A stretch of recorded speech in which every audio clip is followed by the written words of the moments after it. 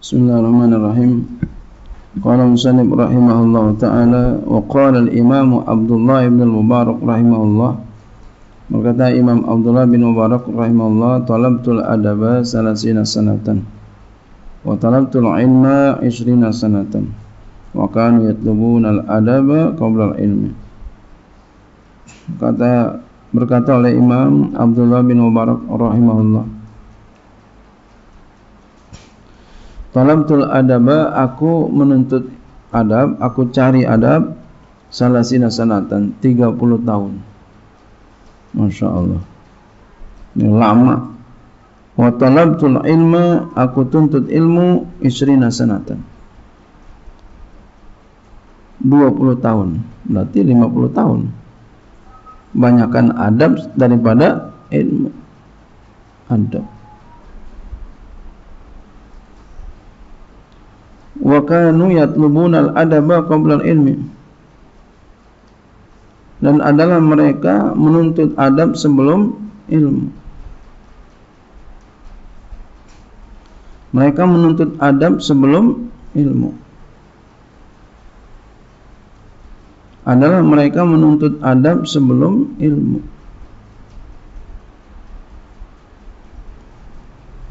Jadi adab dulu baru ilmu di kalangan sufi tasawuf tarekat itu kalau mau ceramah mereka itu salaman dulu sama gurunya.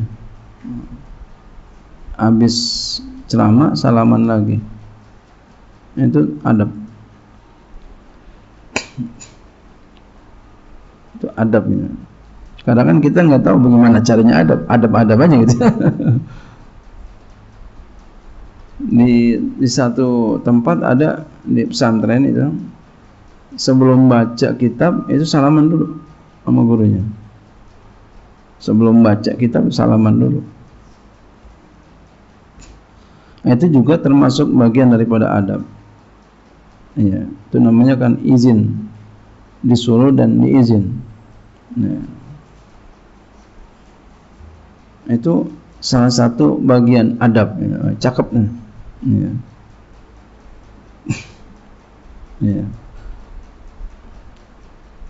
Kadang kita malu ya, kalau nggak disuruh sama guru ya. nah, itu bagus tuh, itu bisa di ya, diterapin begitu.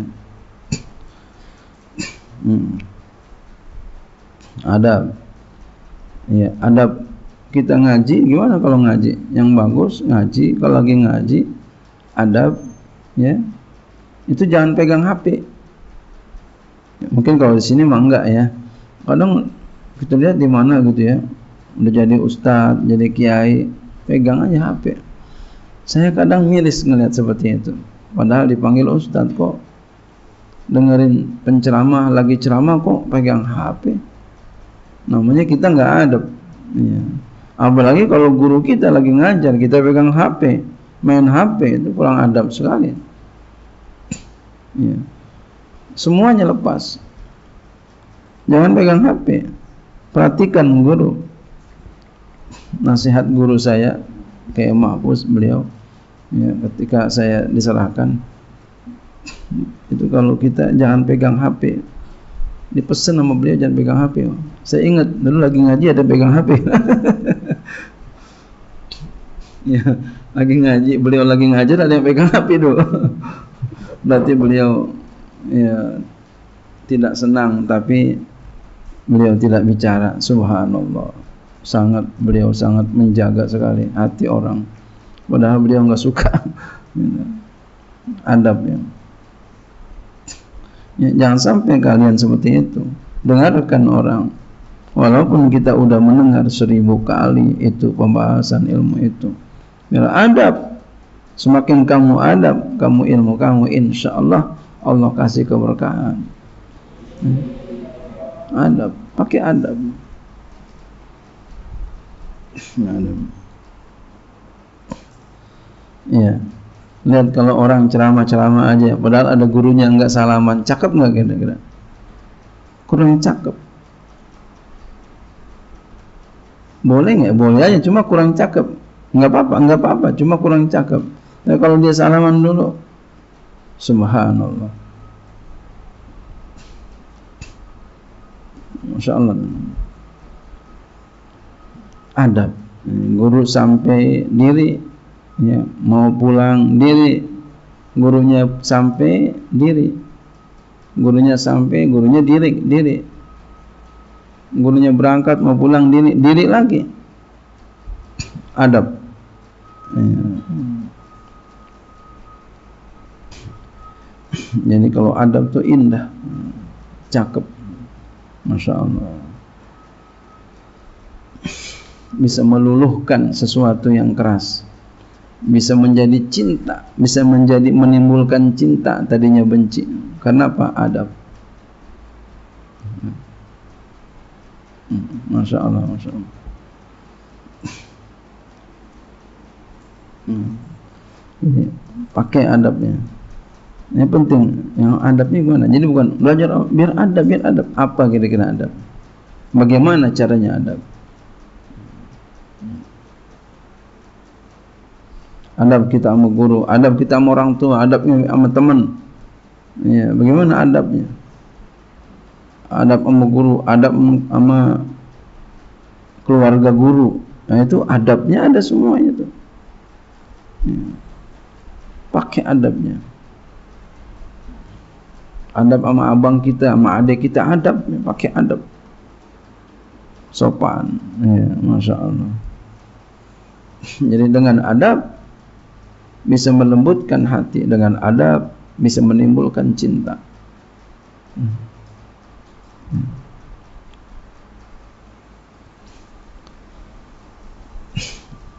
Wa kanu yatlubuna al-adab qabla al-ilmi dan adalah mereka menuntut adab sebelum ilmu. Jadi belajar adab dulu baru ilmu. Biar benar, biar benar. Nanti kayak begini tang, entah kalau kamu pesantren di luar kayak begini nanti. Kamu guru nanti kayak begini tang. Nah, kita nasihatin anak kita begitu. Ya. Adabnya, adabnya. Hmm. Wa qala Ibnu Jauzi berkata Ibnu Jauzi kadal adabu yakunu sulusai ilmi ka, hampir saja kata beliau adab itu dua per tiga ilmu. Masya Allah hampir saja dua per tiga ilmu. Dua per tiga ya. Jadi banyakkan adab wa yaqulu Abdullah ibnu Wahb bin rahimahullah dan ber, adalah ya, dan berkata Abdullah bin Wahab rahimahullah ma ta'allamna min adabi malikin aksaru mimma ta'allamna min ilmihi Tidaklah kami belajar adab dari Malik lebih banyak daripada kami belajar daripada ilmunya. Iya. Ya. Jadi banyakkan adab daripada ilmu. Ya, ma ta'allamna min adabi malikin aksaru. Apa ya? Apa yang kami pelajari daripada adab Malik ya. Imam Malik itu lebih banyak daripada kami belajar daripada ilmunya, min ilmihi. Adabnya.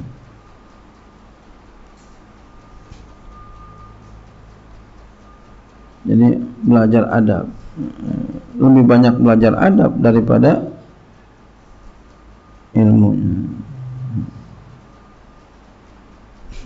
Jadi lebih banyak yang diambil itu adabnya daripada ilmunya.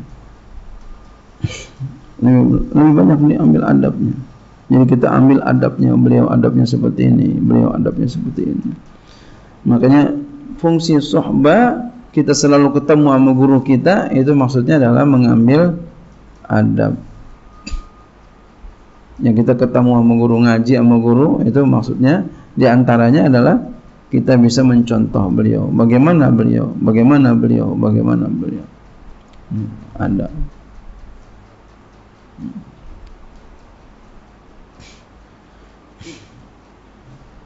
Ya seperti Imam Syafi'i kemarin sudah kita kaji lagi ngaji ngebetnya begini. Pelan-pelan. Takut apa? Takut gurunya keganggu kalau cepet-cepet. Konsentrasinya keganggu. Begitu kita tuh menjaga perasaan guru Imam Syafi'i sampai begitu menjaga perasaan gurunya. Adab ya. Masya Allah, ya Allah.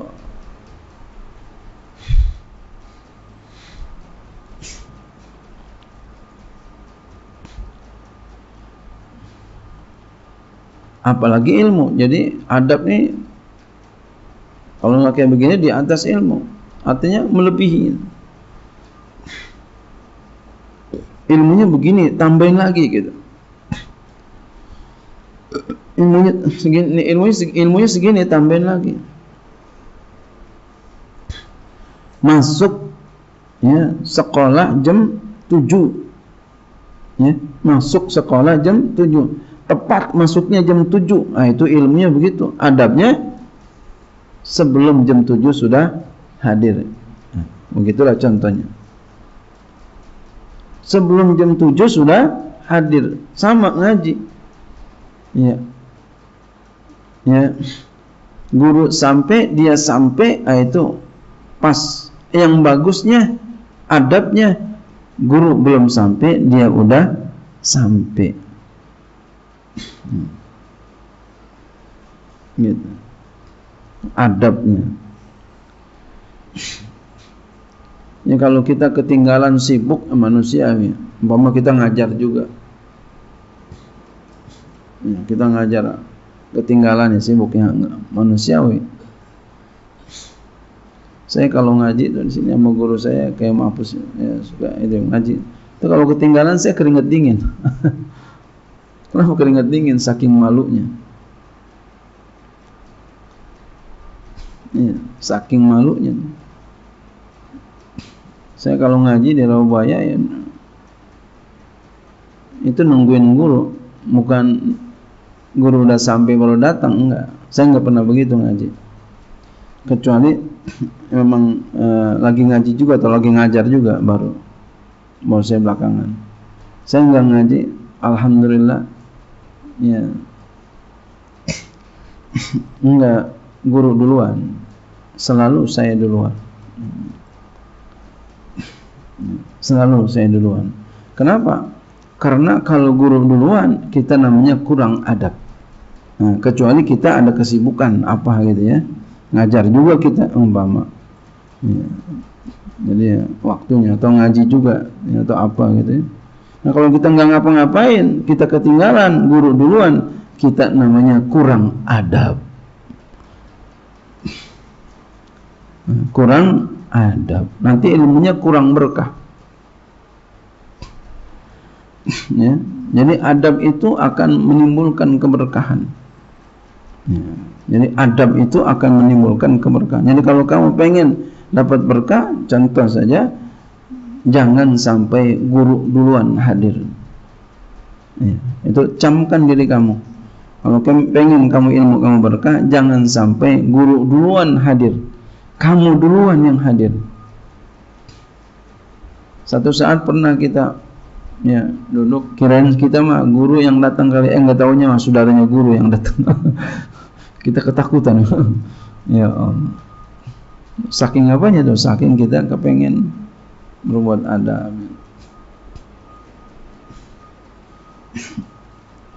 ya.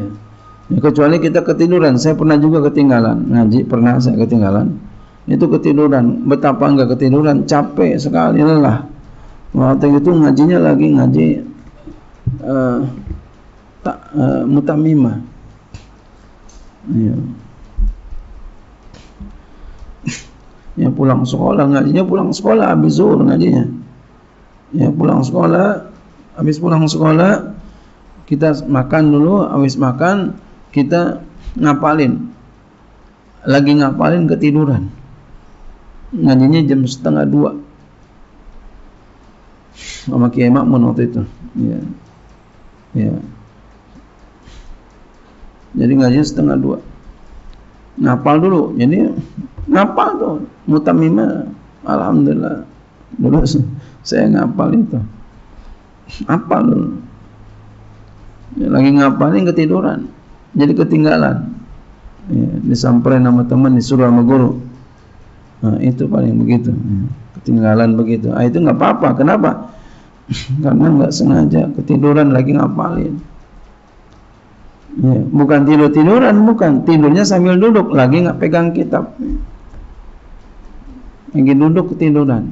Nah kalau begitu nggak apa-apa. Sekali, sekali saja. Atau ya nggak sengaja gitu ya. Nah kalau kita saban hari ngaji ketinggalan, ngaji ketinggalan, nanti berkahnya kurang. Nah, itu jangan sampai begitu. Usahakan kita hadir duluan. Hadir dan duduk duluan. Hmm. Ya, begitu. Hmm.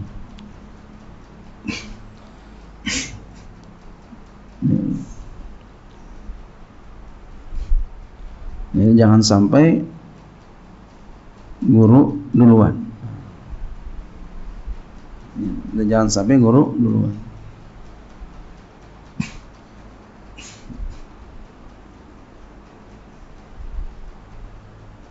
Pernah juga saya ngaji sama guru. Saya nungguin, saya ngaji ngaji sendiri aja memang waktu itu pernah guru saya yang di sini. beliau enggak bukain pintu. Apa beliau lagi istirahat. Saya enggak ketok pintunya. Sampai selesai ketemu maghrib saya pulang. Eh ada iman katanya. Iya. Iya enggak apa-apa enggak apa-apa. Pulang ya nah kita enggak ketok pintu ya kita duduk di majelisnya sampai maghrib Guru ngelihatnya seneng nggak? Seneng. Didoain nggak? Doain. Tapi kalau kita kotok kotok tok tok tok tok tok gurunya lagi istirahat, gimana? Ada rasa kesel nggak? Jangan kau berikan setitik walau setitik rasa kesel kepada gurumu. Gitu. Berikan kegembiraan. Ya Allah, masya Allah.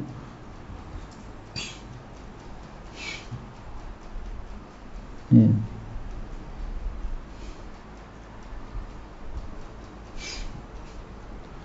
jangan sampai kita uh, uh, memberikan kesal di hati gurunya. Beri rasa gembira. Hmm. ini rasa gembira. Sama orang pun begitu kamu pulang umpama di rumah kamu. Beradab beradab beradab beri rasa gembira orang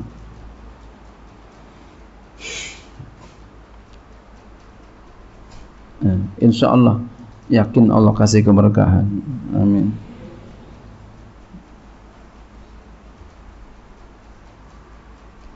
Wa fi zuhdi dalam kitab Zuhud Ibnu Mubarak bagi Ibnu Mubarak Anil Hasan Basri Hasan Basri karena rajul adalah seorang laki-laki yang dia menuntut al ilmu ilmu fala yalbasu maka tidaklah dia ya tinggal. Maksudnya tidak lama kemudian. Ayyur zalika niat akan demikian itu.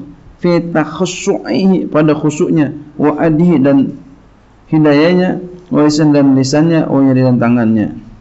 Ya. Khusyuk dilihat pada akan mikan itu pada khusyuknya dapat petunjuknya ya. Ya. Dan lisannya dan tangannya. Ya. jadi kelihatan semua tuh ya. Menuntut ilmu ya. Ada seorang laki-laki dia menuntut ilmu. Maka enggak lama dilihat demikian itu pada khusyuknya dan hadian dan lisannya dan tangannya. Ya enggak lama dari itu. Ya. Waqala Abu Abdullah Sufyan bin Sa'id Al-Sauri berkata Abu Abdullah Sufyan bin Sauri Sa'id Al-Sauri kanu adalah mereka la yukhrijuna abna'ahum li talabil ilmi hatta yata'addabu wa yata'abbadu 20 sanah adalah mereka tidak mau mengeluarkan anak-anak mereka untuk menuntut ilmu sampai mereka belajar adab dan beribadah sampai 20 tahun. Masya Allah. Jadi anaknya diajarin adab dulu, enggak dikeluarin dulu. Sono nyantri enggak. Jadi diajarin dulu di rumah adab, baru dikeluarin. Masya Allah. Ya. Sama anak saya pun begitu nih. mau ajarin biar benar nah begini begini begini ya mudah-mudahan Allah hasilkan amin hmm. begitu. Jadi adab, adab, adab, adab, adab, adab. Jadi adab, jangan kagak adab. Berkah. Ada salaman sama orang tua bagaimana, salaman sama guru. Ya, yang benernya gimana?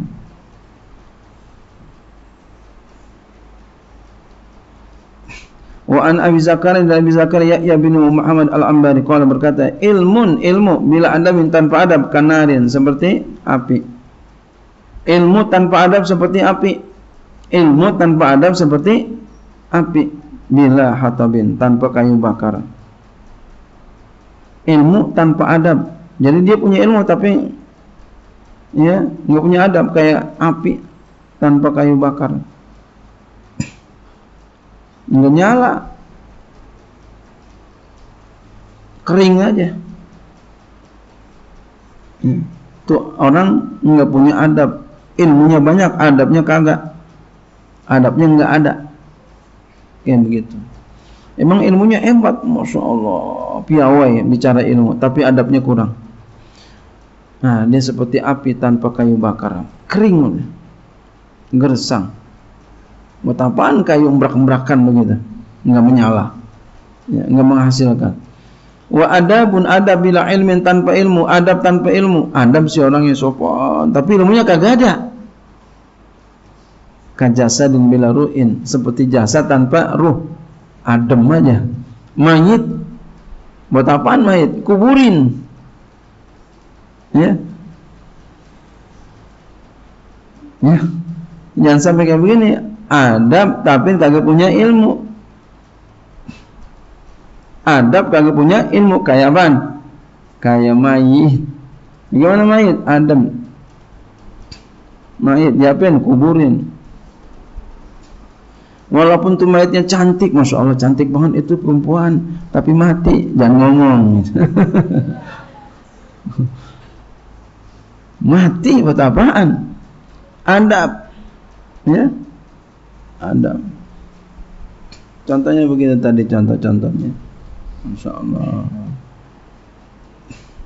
Jalan sama guru, duduk sama guru, gimana tuh caranya tuh?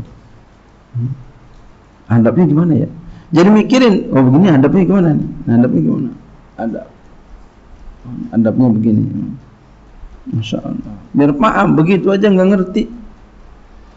Begitu aja nggak ngerti adab. Innalillah pakai rasa adabnya gimana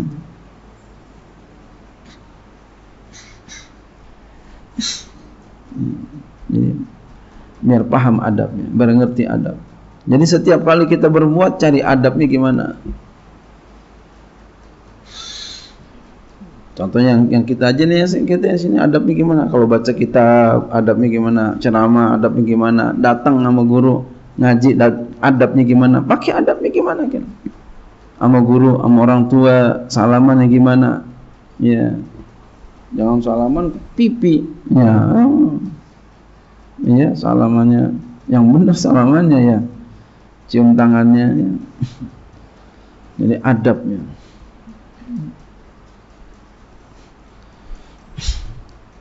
Wallahu a'lam bishawab.